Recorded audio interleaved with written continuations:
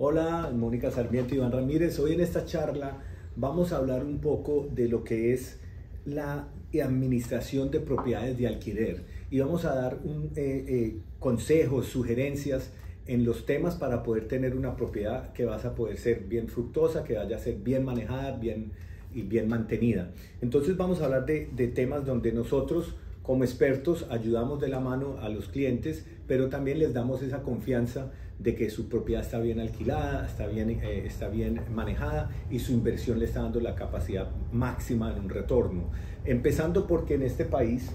tenemos eh, leyes que los protegen, tanto al inquilino como al, al, dueño. Y si sigues los pasos correctos, pues siempre vas a estar protegido por las leyes. Entonces, el primer tema, eh, Mónica, la selección de inquilinos. Es un tema súper importante. Sí, nosotros em, siempre enfatizamos mucho en esta parte porque ese es el principio de tratar de que la propiedad dé su mejor retorno em, cuando se renta. La buena selección de inquilinos ayuda para que la propiedad no tenga un un turnover de, de, inquilinos, un cambio de inquilinos, muy frecuente porque eso hace que los retornos de inversión se bajen mucho. Entonces, eh, escoger un inquilino muy bien desde el principio, calificarlo bien, revisar bien su, su pasado judicial, como decimos en nuestros países, pasado judicial, su, su, historial, de historial crediticio, cómo se ha comportado en otras propiedades donde ha rentado anteriormente. Entonces también se hace una mm, verificación de referencias personales con los anteriores arrendatarios, en su trabajo, si tienen la capacidad de pago del el monto al que se está comprometiendo dentro de ese contrato de renta, em, etcétera, etcétera, como su comportamiento en general, en comunidad también se ha vivido en edificios, ahí, etcétera. Y, eh, o sea, en la selección de inquilinos no necesariamente, a veces la gente también, ahí es donde estamos nosotros y les damos la, la sugerencia, eh, Vamos a hacer un ejemplo, se está pagando 5 mil dólares mensuales, una persona ofrece 5 mil, otra persona ofrece 4 mil 900, pero el que ofrece 5 mil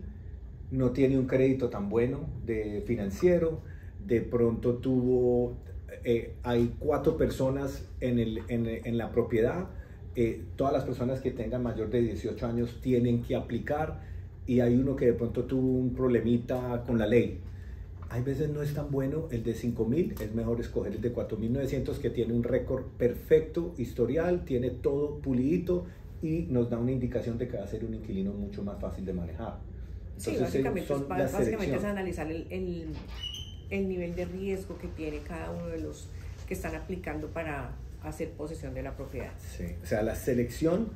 para nosotros puede ser uno de los temas más determinantes. Yo pienso que es el primer, el primer tema más, importante para, para, lograr eh, correr el menor riesgo posible. Siempre dentro de todas las inversiones y dentro de todas las, las propiedades que se rentan hay un, un, nivel de riesgo y con este primero que es la selección de inquilinos, creo que minimizamos eh, en una gran mayoría.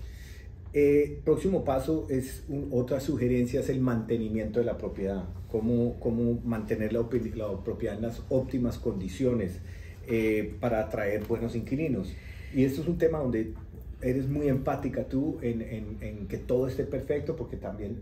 que te la, te la, devuelvan también va a ser la misma forma como la entregas. Sí, pero lo que siempre recalcamos a las personas que tienen propiedades de inversión es que hay que invertir en tener una propiedad lo mejor posible para que el inquilino habite una propiedad muy buena donde no, donde no quiera mudarse y también donde los mantenimientos no se vuelvan algo que ya salga de control en el nivel económico. Por ejemplo, si nosotros hacemos periódicamente revisión de los aires acondicionados, que es una de las cosas fundamentales acá y que aparte de eso legalmente también los arrendatarios tienen un tiempo para resolverla cuando se dañan porque es algo que afecta muchísimo la calidad, de vida dentro de la propiedad para los inquilinos, entonces siempre sugerimos hacer mantenimientos preventivos del aire acondicionado, revisar de vez en cuando si hay líquidos en la propiedad para evitar que haya un líquido silencioso que nos esté afectando a la propiedad y no nos demos cuenta sino hasta que ya tenemos eh, un, un, un dañado, una pared que ya sea complicado repararlo y donde sea mucho más costoso. Entonces, esa es otra de las partes que, en, las, en las que también trabajamos mucho y es el mantenimiento preventivo de las cosas importantes dentro de la propiedad. O sea que mantener la propiedad, tenerla en buenas condiciones, porque así como la entregas, también puedes exigir que te las devuelvan las condiciones cuando el inquilino termine su arrendamiento, pues que también esté de vuelta en las mismas condiciones como la entregamos. Sí, Eh, para eso también eh, nosotros somos bien enfáticos en colectar suficientes depósitos para proteger al arrendatario de que esos daños sean cubiertos por la cantidad que podamos recoger en los depósitos de seguridad. Y ese es el, el próximo, eh, que es el acuerdo de la de arrendamiento, que ya es el contrato oficial donde se describe los depósitos y cómo pueden ser usados los depósitos y el, tiempo, el periodo de, de- del tiempo del arrendamiento, las personas que están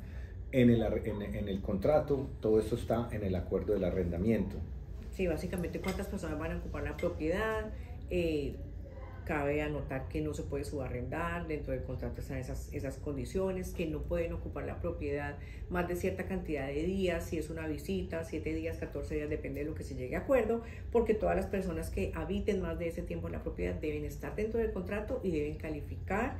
eh, y cumplir con los mismos requisitos que el primer, la primera persona que aparece dentro del contrato. Ahí también se ponen las fechas y los tiempos en los que se debe pagar la renta, cuál es el tiempo en los que no se considera que está tarde dentro de la renta, eh, el monto que debe pagar, eh, etcétera, etcétera. Cuál- qué mantenimiento también es, es eh, responsabilidad de cada una de las partes, porque cuando son eh, mantenimientos menor a cierta cantidad que se pacta en el contrato, eh, son responsabilidades del inquilino también. Sí, Todo si hay un daño, por de ejemplo, eso. menos de X cantidad, es de parte del inquilino. Si es un daño mayor de X cantidad, es de parte del dueño. Eh, si hay mascotas, si no hay mascotas. Eh, todo esto son las leyes y los temas que van en el contrato de arrendamiento. Entonces, todo eso es también, redactamos bien ese acuerdo y esa es la hoja donde todo el mundo tiene que cumplir basado en ese contrato. Eh, otro tema es eh, tratar con inquilinos difíciles. Hay, hay inquilinos que no son perfectos, o sea, pero no es necesariamente que siempre vaya a ser así. Hay gente que, que simplemente son personas que le están buscando forma de, de- de quejarse o que quieren eh, otros eh, temas extras de lo que no se había acordado. Entonces es muy importante esto, tener todo bajo escrito, documentación, Básicamente en el, en el manejo de los inquilinos difíciles, lo más importante es tener una comunicación asertiva, eh, que también pueda servir en un proceso legal en dado caso, que obviamente debe ser en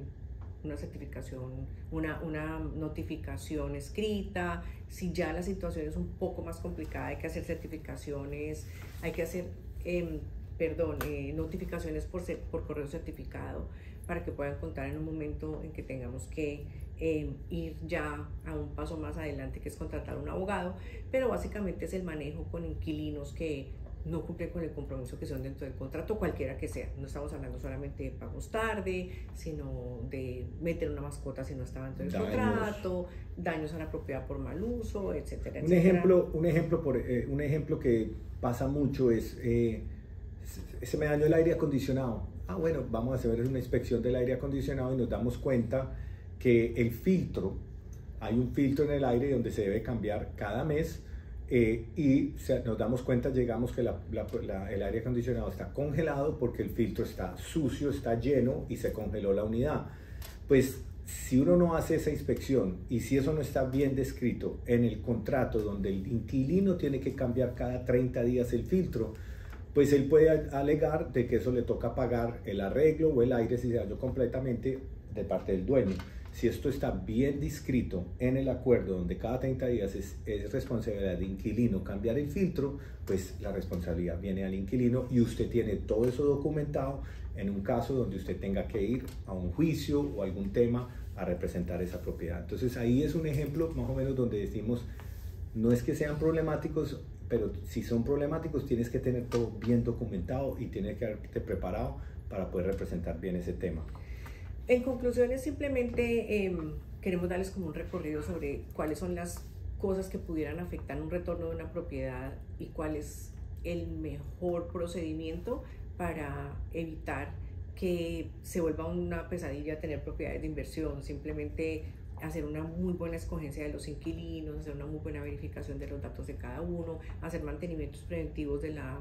de la, de la propiedad y de las cosas que son importantes, atender también a tiempo cualquier eh, notificación que haga el inquilino de una reparación eh, es una responsabilidad del arrendatario eh, cumplir con esos tiempos para que los problemas no sean no se agraven a futuro. Y, y, es la manera como el inquilino se puede quedar más en la propiedad, está más contento, no hay tanto cambio, porque cada vez que se va un inquilino hay que poner la propiedad otra vez al día, muchas veces hay que pintar, hay cositas que se dañan en el manejo normal, en el uso normal de la propiedad. Y, y eso es lo que queremos darles como una guía un poco más de, de cuál es el proceso para mantener esas propiedades lo más saludable posible, tanto para el arrendatario como para el arrendador de cada una de las propiedades. Sí, y también para concluir, hay veces no es la propiedad o el negocio, sino es la administración que no deja que la propiedad sea eh, eh, rentable. Entonces esperamos que con esto le hayamos dado unas buenas sugerencias, unas buenas opiniones de cómo manejar bien una propiedad y con mucho gusto nosotros siempre estamos disponibles para poderles dar cualquier otra información necesaria. Mónica Sarmiento, Iván Ramírez, The RS Team. Si les gusta el video pueden hacer un like. Muchas gracias. Nos vemos en siempre por acompañarnos. Hasta pronto.